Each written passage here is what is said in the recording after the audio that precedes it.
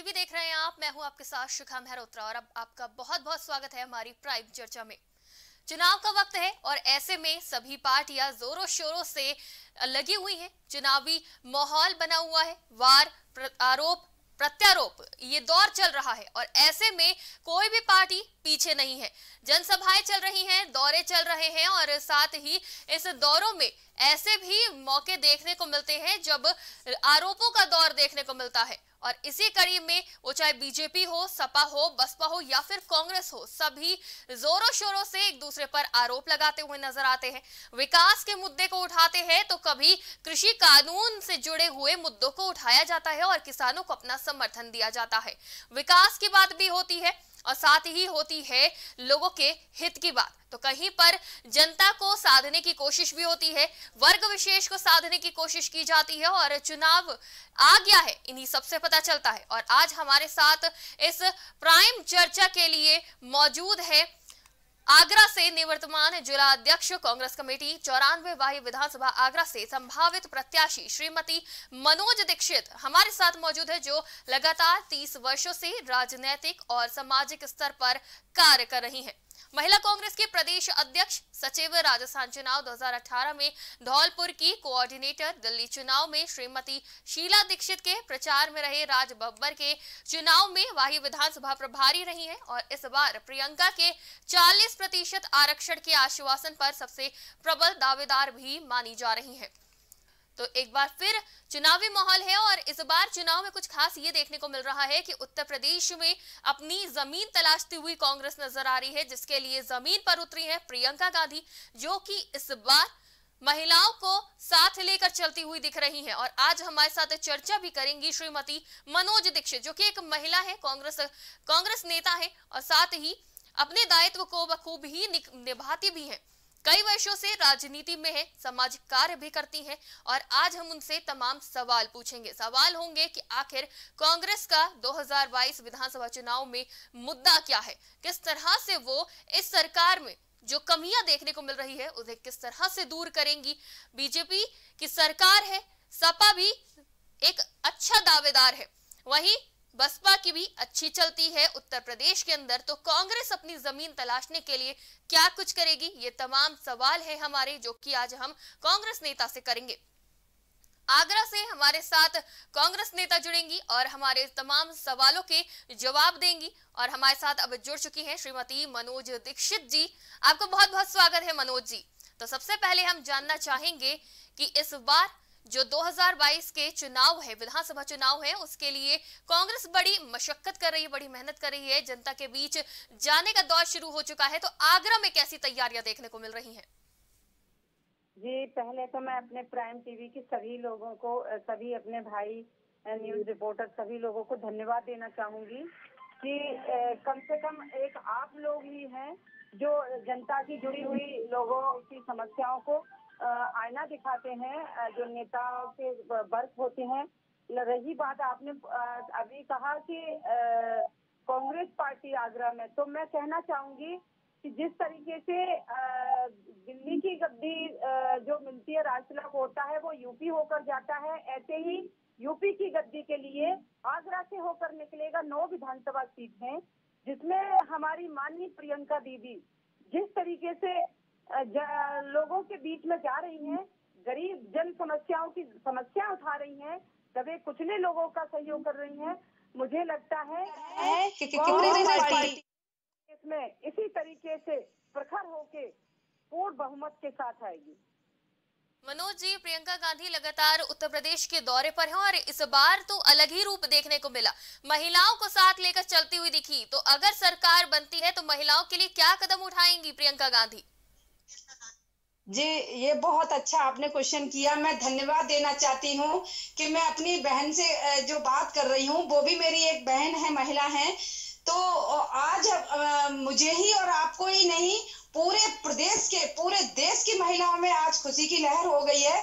क्योंकि ये कोई नई बात नहीं मानी प्रियंका दीदी ने। हमारे तो राजीव गांधी, स्वर्गीय राजीव गांधी जी ने भी जो आज महिलाओं को विधानसभा में लोकसभा में बैठने का अवसर मिला है वो आज हमारे माननीय राजीव गांधी जी की देन है कि उन्होंने ही पंचायती राज में महिलाओं के लिए आरक्षण की मांग की थी पंचायती राज चुनाव में लड़ने के लिए महिलाएँ भागीदारी बनी थी। आज आप देख रही हैं कि बीडीसी प्रधान और जिला पंचायत, ब्लॉक प्रमुख, हर स्तर पे महिलाएँ हमारी बहनें आ रही हैं तो मुझे अच्छा लगता है। अब रही बात माननीय प्रियंका दीदी की तो उनकी सोच इतनी बड़ी है कि आज आबादी हमारी आधी है महिलाओं की, आधी आबादी होते हुए हम अपना प्रतिनिधित्व क्यों नहीं पूर्ण रूप से कर पा रहे? आज आप देख रहे होंगे कि हर जगह महिलाओं की आवाज़ आप देख रहे हैं कि छोटी छोटी बच्चियों के साथ बलात्कार हो रहे हैं दुराचार हो रहे हैं उनके साथ। कोई भी महिलाओं की आवाज़ उठाने को तैयार नहीं है। आज हमारी दीदी ने जो सराहनीय कदम उठाया है कि महिलाओं को 40 परसेंट की जो बात की है अन्य पार्टियों के मुँह पे एक तमाचा पड़ा है कि महिलाओं को क्या आपने घर के चूल्हा चौकी तक ही सीमित रखा है? आज विशेष करके मैं बहा की बात और कर रही हूँ कि ये दस सुग्रसित क्षेत्र है मेरी बहा विधानसभा।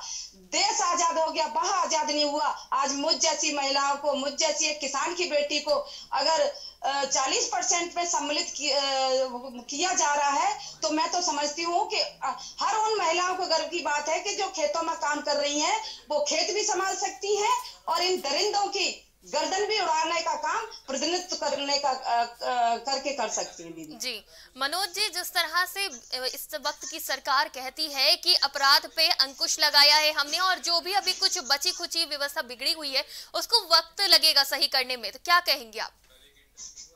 देखिए दीदी इसमें तो जो सरकार कह रही है मैं तो कहना चाहूँगी कि अब इस सरकार का तो नाम ही नहीं लिया जाए वो ही अच्छा होता है क्योंकि गाँव की कहावत होती है कि कलंकित व्यक्ति का तो नाम लेना भी अब सगुन हो जाता है।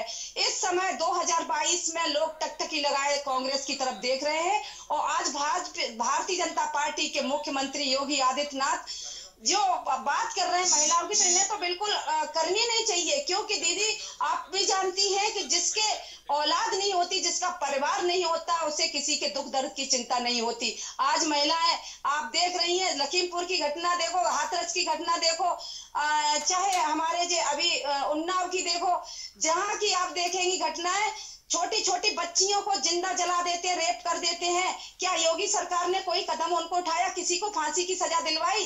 वो तो जाँच में और निकालते क्योंकि उन्होंने उन्होंने स्पष्ट कहा है, उनके शब्दों से स्पष्ट हो रहा है कि उनके यहाँ सिर्फ़ दमंगई, गुंडई, मवालियों का ही स्थान है, सराफत लोगों को, महिलाओं का स्थान नहीं है।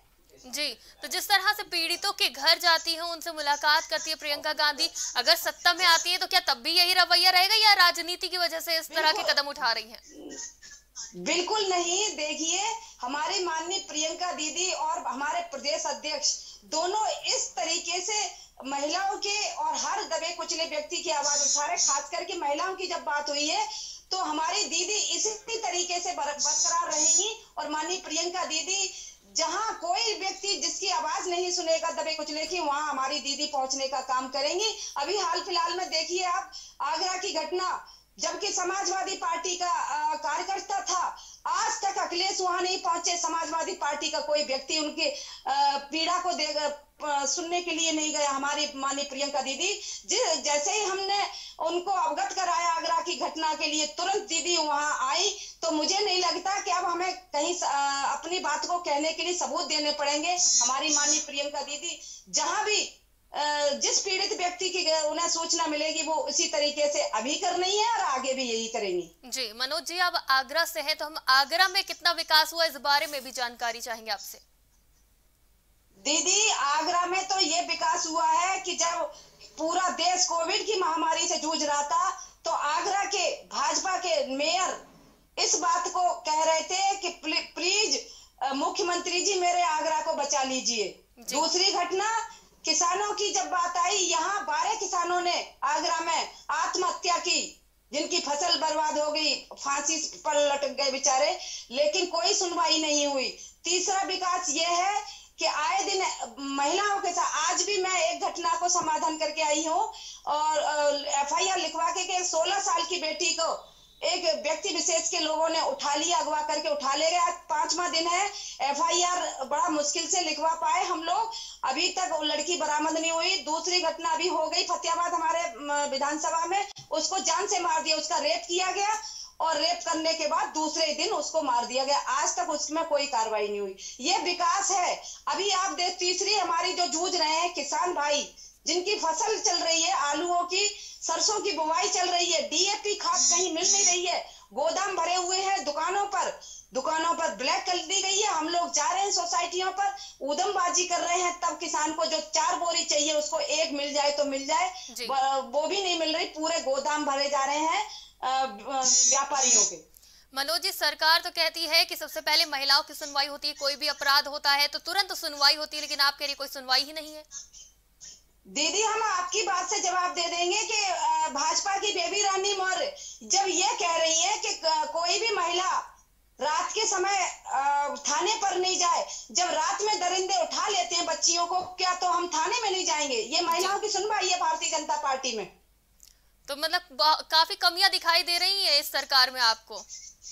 कमियाँ ही कमियाँ हैं जनता मन बनाए हुए बैठी है, क्योंकि बोल नहीं पा रही है, इसलिए नहीं बोल पा रही है। उसका कारण है कि अगर बोला गया, जरा सा भी जनता कोई बोलती है भाजपा के खिलाफ, उनको जेल में, जेल की सलाखों में डलवा दिया जाएगा। 2022 के चुनाव में उत्तर प्रदेश में कई दावेदार है, जहाँ बीजेपी सबसे आगे दिख रही है तो सपा और बसपा भी पीछे नहीं है। आम आदमी पार्टी भी अपना हाथ आजमा रही है तो कांग्रेस किस स्थान पर आने की उम्मीद है उसे? देखिए आगे आने वाला तो वो आपने भी सुनी होगी कहावत चूहे की और उनकी दौड़ थी खरगोश की। तो आगे दौड़ रहे थे चूहे लेकिन खरगोश अपनी चाल चलता रहा।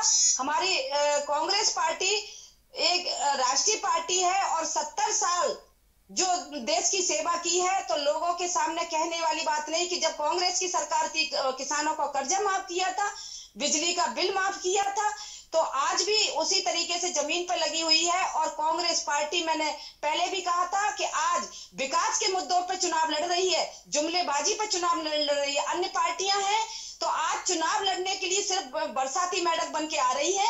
इनके पास कोई विकास के मुद्दे नहीं है, न ये विकास की बात कर पाएँगे। अगर विकास की बात करनी है तो चाहे भाजपा की तो जुमलेबाजी दिखाई सबको दे रही है कि सत्ता में है, केंद्र में भी है और यूपी में भी है तो उसने कितना विकास किया कि सत्तर साल के बुढ़े बेचारे हमारे बाबा जिनको आज अपने बच्चों में लेटना था घर पे वो आज खेतों पे जान गंवा रहे हैं। दूसरी बात समाजवादी पार्टी की मैं बात करूँ तो समाजवादी पार्टी जब लोगों की समस्या कोविड की महामारी थी लोगों यहाँ भुखमरी पड़ी हुई थी आगरा में या पूरे प्रदेश में तब ये कहाँ थे अखिलेश जी?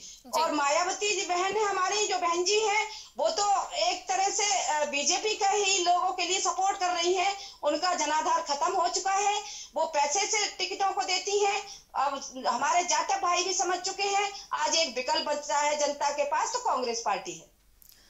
कांग्रेस पार्टी विकल्प आपने बताई है, लेकिन ऐसा क्यों? जहाँ देखा जाता है कि बसपा को पिछड़े वर्ग का सपोर्ट मिलता है, और वहीं सपा भी एक वर्ग विशेष को लेकर चलता है। बीजेपी भी एक वर्ग विशेष को लेकर चल रहा है तो आखिर किसका सपोर्ट मिलने वाला है कांग्रेस को? इसीलिए तो इन इन पार्टियों की अपने मुँह की खानी पड़ेगी। व्यक्ति विशेष के बल को लेके चलेंगे। तो ये विकास व्यक्ति विशेष के लिए नहीं दिया गया। जे इन्होंने दिया है अडानी और अंबानी को उद्योगपतियों को भाजपा ने। और रही बात अन्य पार्टियों को ये जातिवाद पे ही चुनाव लड़ते हैं। कांग्रेस पार्टी एक ऐसी है जो विकास के मुद्दों पे चुनाव लड़ती है गरीबों के लिए चुनाव लड़ती है महिलाओं के लिए लड़ती है नौकरियों के लिए लड़ती है किसानों के लिए लड़ती है। जी किसानों का मुद्दा भी काफ़ी उठाया जा रहा है और काफ़ी समर्थन दिया जा रहा है कांग्रेस की तरफ़ से। तो इसकी वजह क्या है? क्या तीन नए कृषि कानूनों से किसानों के साथ कांग्रेस भी खुश नहीं है? नहीं देखिए किसानों के साथ हर ज़मीन से जुड़ के कांग्रेस पार्टी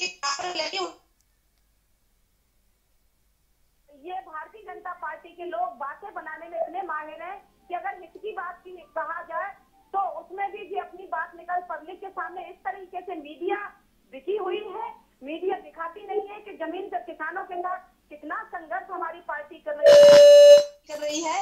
राष्ट्रीय अध्यक्ष जी माननीय, राष्ट्रीय अध्यक्ष माननीय प्रियंका गांधी जी, माननीय राहुल भैया, सभी लोग किसानों के लिए मिलने जा रहे हैं। उनकी मुद्दों को उठा रहे हैं। कहीं भी पीछे मुद्दों से नहीं हट रही है कांग्रेस पार्टी। मनोज जी मैं आपकी इस बात से सहमत नहीं हूँ कि मीडिया बिकी हुई है क्योंकि आप देख सकती हैं कि प्राइम टीवी हर खबर को दिखाता है वो चाहे किसानों से जुड़ी हो या कांग्रेस से जुड़ी किसी भी दल के जुड़ी हुई हो। आप सभी मीडिया को नहीं कह सकते। दीदी आप आपके लिए आपके लिए वो, वो उन मीडियाओं के लिए नहीं कहा गया। आप जैसे लोगों को तो धन्यवाद दे रहे हैं ज़मीन कार्यकर्ता भी दे रहे हैं किसान भी दे रहे हैं युवा भी दे रहे हैं जो बड़े स्तर पे बैठे हैं जिन जिनको योगी जी और मोदी जी देख रहे हैं बस उन मीडिया वालों को कह रहे हैं। आप जैसे लोग तो आईना दिखा ही रहे हैं। हम लोगों के जो कार्य है किसान जो रो रहा है महिलाएँ जो आ, शिकार हो रही है पीड़ित हैं उनकी आवाज़ आप जैसे लोग ही तो दिखा रहे हैं। बिल्कुल। मनोज जी जिस तरह से वादा किया है प्रियंका गांधी ने कि उनकी सरकार आने के बाद लैपटॉप और टैबलेट बांटे जाएँगे स्कूटी बांटी जाएगी इस तरह के सभी वादे कर रहे हैं। वही प्रियंका गांधी ने स्कूटी और मोबाइल स्मार्ट मोबाइल देने की बात कही है तो इससे युवाओं को कितना सपोर्ट मिलेगा?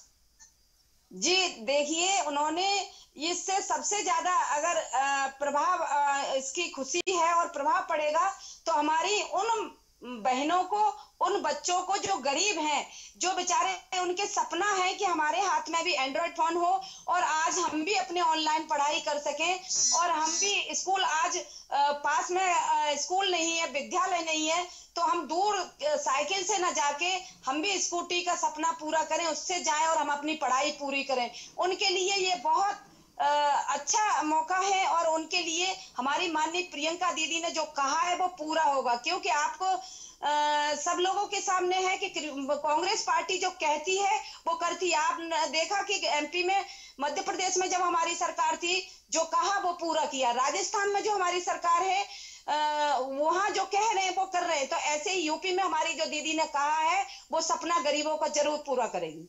मनोज जी एक आरोप और लगता है कांग्रेस पे कि सोशल मीडिया और ट्विटर की राजनीति करते हैं जमीनी स्तर पर कम निकलते हैं। क्या कहेंगे इस पे? जी जी वो दीदी इसके लिए तो प्रमाण को प्रत्यक्ष की आवश्यकता क्या है कि जब हमारी दीदी छोटी छोटी समस्या एक बाल्मीक समाज के भाई के लिए प्रोग्राम कहीं का था, लखनऊ बैठी थी, मात्र तीन घंटे के अंदर आ सकती हैं।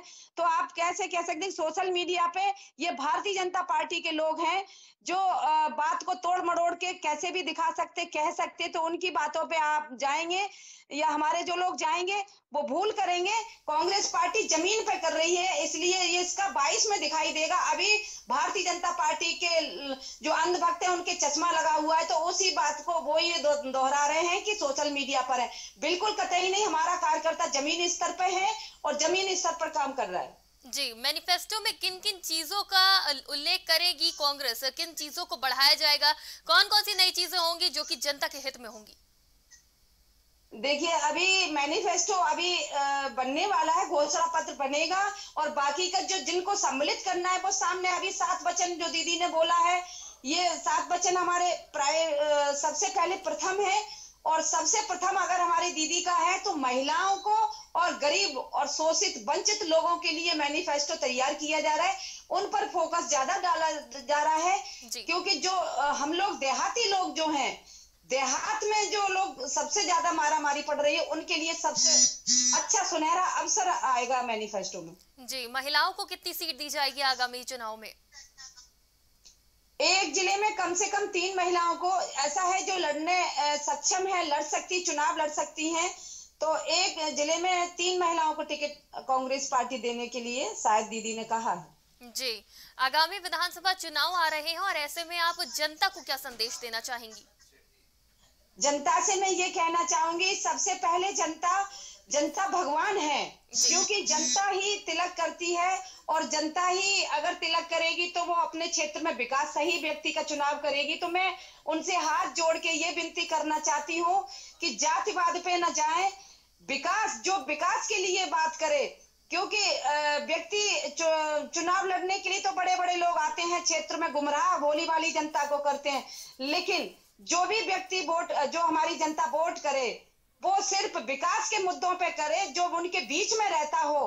प्रमुख बात हो उसके आगे ये होना चाहिए जनता के आगे कि कैंडिडेट जाए वो वही का हो जो उनके बीच में संघर्ष कर रहा हो और उनके लिए लड़ाई लड़ सकता हो, ऐसा ना हो कि सिर्फ़ वो चुनाव जीतने के बाद अपनी एसी में बैठे और अपनी ऑफ़िस के सामने ये बोर्ड लगा दे कि मिलने का टाइम खत्म हो गया, सवेरे दस बजे से बारह। ऐसा व्यक्ति न बने, जनता के बीच का ही बने और विकास की बात करे जातिवाद पे न जाए। बस यही मेरा कहना है जनता के लिए। जी, मनोज जी, आप अपने क्षेत्र के लिए क्या कुछ कदम उठा रही हैं? मैं अपने क्षेत्र में सबसे जो पहले मैंने आपको बताई थी कि देश आज़ाद हो गया। मेरे ये चार विधान जो ज़िले के लिए संतुति थी तीन ज़िले जिसमें हो चुके हैं। एक जो बहा जिला बनाओ जो अभियान हमारा चल रहा था कि एक तो ये कलंक हट जाए मेरे आगे आने वाली पीढ़ियों को कि दस सुग्रसित बहा विधानसभा 94 है। ये मेरा कलंक हट जाए मेरी जनता बहा विधानसभा की जनता का। दूसरा यहाँ 90 किलोमीटर आगरा पड़ता है हमारी जनता के बहा के लोगों के लिए। तो हमारी ये मांग है कि मैं आ, काफ़ी समय से धरने प्रदर्शन साइकिल 2000 साइकिल लेके लखनऊ तक गई धरने पर बैठी। अटल जी के नाम से हमने मांग की है क्योंकि जुमलेबाज सरकारों ने अटल ने कुछ नहीं मांगा लेकिन उनके क्षेत्र के लिए आज तक कुछ नहीं किया। तो अब मैं चाहती हूँ कि तीन जो यहाँ तहसील है वो मानक में पूरी कर ली गई है लेकिन सरकार सिर्फ़ जब वादे करेगी चुनाव आ जाएगा तो फिर कहेगी कि मैं बनवा दूँगा हम कोशिश करेंगे लेकिन पिछली बार भी कहा था उनके सांसद बने विधायक बने वहाँ की तरफ़ किसी का ध्यान नहीं गया। सिर्फ़ मेरी आगे आने वाली पीढ़ी के लिए ये सबसे प्रमुख समस्या है। वैसे मेरा जो एम है अगर मुझे जनता आशीर्वाद अपना देती है तो एक इतिहास बदलने का काम शायद ये किसान की बेटी कर पाए। उसमें प्रमुख मेरा मुद्दा है कि एक ज़मीन पे कर रहे जो हमारे दबे कुचले लोग हैं उनके लिए मैं कुछ वहाँ में ऐसा करने लायक बन जाऊँ जो आज़ादी के रूप में मुझे भी जाना जाए। जी बिल्कुल बहुत बहुत शुक्रिया हमारे साथ जुड़ने के लिए अपना कीमती वक्त देने के लिए और हमारे साथ आज की प्राइम चर्चा में निवर्तमान जिला अध्यक्ष कांग्रेस कमेटी की चौरानवे वाह्य विधानसभा आगरा से संभावित प्रत्याशी श्रीमती मनोज दीक्षित जुड़ी थी। तो आज की इस प्राइम चर्चा में फ़िलहाल इतना ही। तमाम खबरों के लिए आप बने रहिए प्राइम टीवी के साथ।